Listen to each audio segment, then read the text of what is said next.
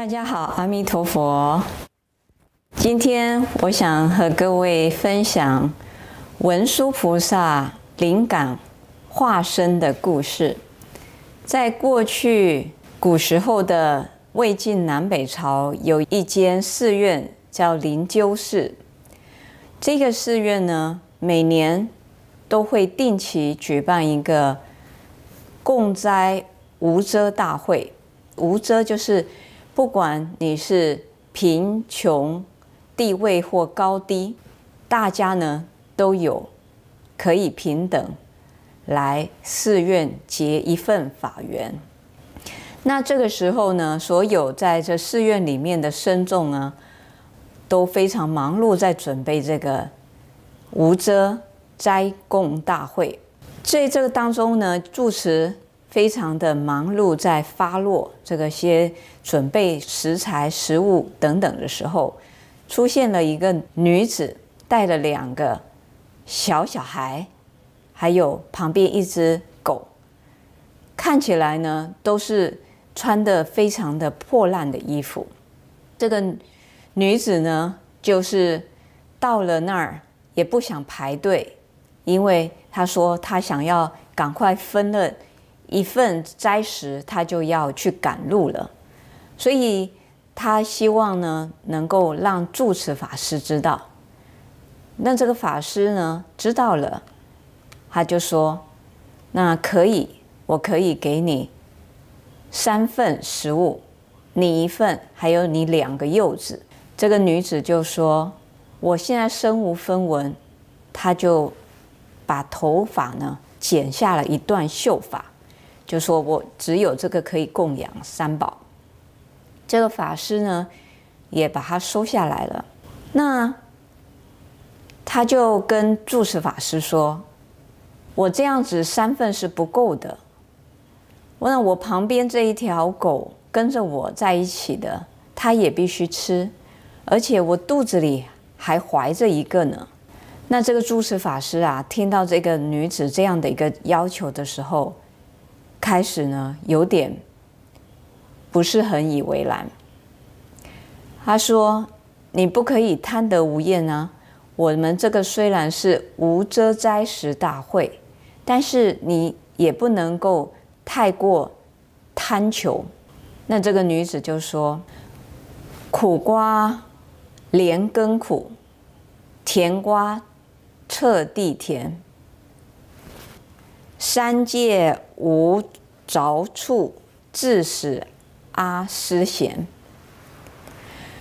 她这个女子一讲完这一个寄语呢，就突然间在虚空化身一个狮子坐骑上非常庄严的一个菩萨，然后旁边有两个童男童女的侍者，他就现出了文殊菩萨的德相啊，他就说。众生学平等，心随万境波，百骸俱舍弃，其如爱真和。这句的意思是什么呢？就是说我们在学习，在为众生平等布施的时候，难免呢就是控制不了自己的这种心绪，爱恨、爱憎。亲疏、有别这种二元对立的心，所以呢，应该要呢舍下这个外在假象的身形。无奈呢，你们心中还有存着爱憎之心，这有什么办法呢？又怎么样能入道呢？啊，这句话的意思是这样。然后这个住持法师啊，就向空中顶礼，跟菩萨说。菩萨大圣，但愿垂示真正的平等法门，让我们一心奉行。之后呢，这个虚空呢又传来一个寄语，说：慈心如大地，亦如水火风，无恶无分别，究竟如虚空。那住持法师听到这个文殊菩萨这样的一个寄语。内心非常非常的惭愧，他觉得刚刚对这个文殊菩萨化现的女子呢态度非常的不好，所以他呢当下呢就想要把自己的双眼挖出来，以表达说自己有眼不识泰山，不知道菩萨真圣在前，自己的眼前给自己来做一个真正的以身教法。自己不自知，还对菩萨这么样的轻慢，所以他非常的惭愧。但是呢，旁边很多的弟子们啊，以及信众就说：“法师啊，请你不要这样做，因为你这样做也没有太大的意义了。”所以呢，这个法师呢，最后呢，就是大家劝说之后呢。放下了这个执着，要把自己的眼珠子挖出来，以表达对文殊菩萨的忏悔之意。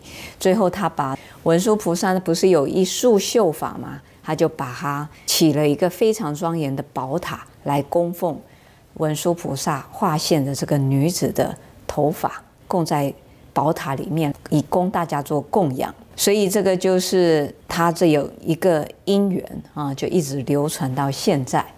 所以这个是一个短短的文殊菩萨化现在我们人间的一个事迹，那希望也能够给予大家或多或少的利益以及启发。那也谢谢各位，也祝福各位，阿弥陀佛。